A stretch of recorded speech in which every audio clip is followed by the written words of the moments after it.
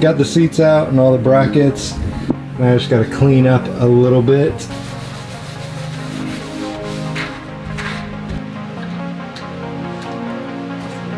It's like a big jigsaw puzzle trying to figure out how all this goes together.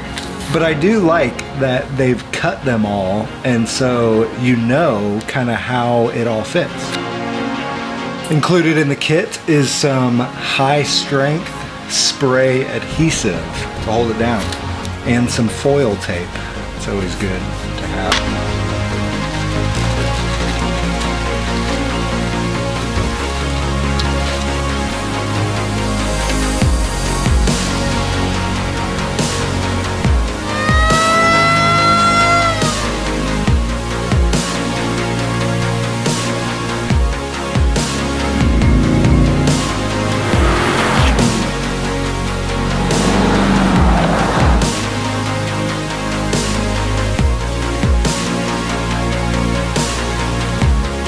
Pre-cuts these and gives them to you.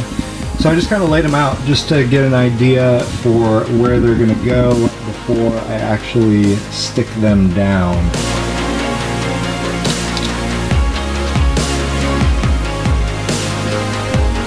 Do not run your hand along this stuff. It will cut you.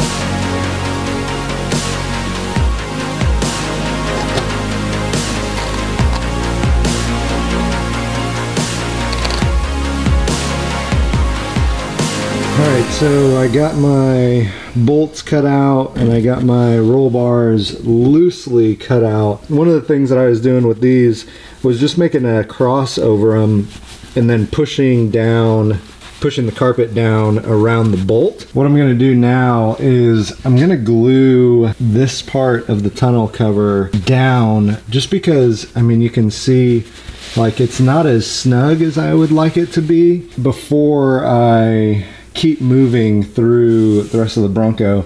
I really want to get the carpet laying smoother than it is now.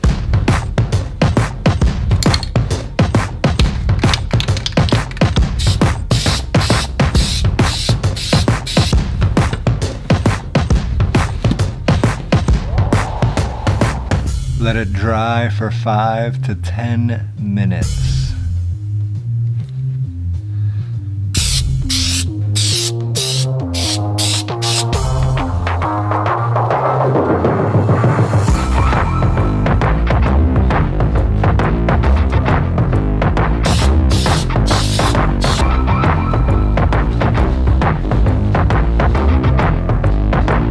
Little spot right here, my heater box is actually like right up against the uh, insulation and so I can't really get the carpet in under there. So I'm gonna just kind of cut this insulation out right here and give the carpet room to slide under the heater box.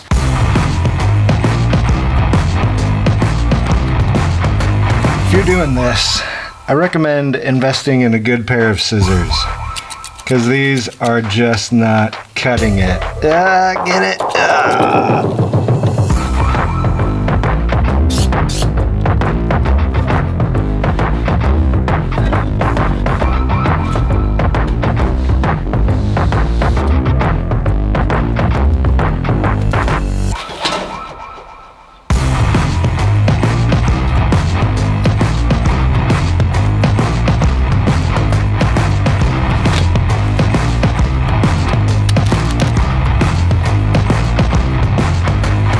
Notice my wheel wells are still bare. Um, the kit comes with insulation and carpet for the wheel wells and then it actually comes with an additional piece of carpet that I think goes uh, kind of in front of the back seat as almost like a floor mat back there. That's it for today. Thank you guys so much for watching. Make sure to uh, check the link in the description below if you want to get one of these carpet kits. It is great quality and uh, really, really easy to install. But that's it. Thank you guys so much for watching and I will see you next time.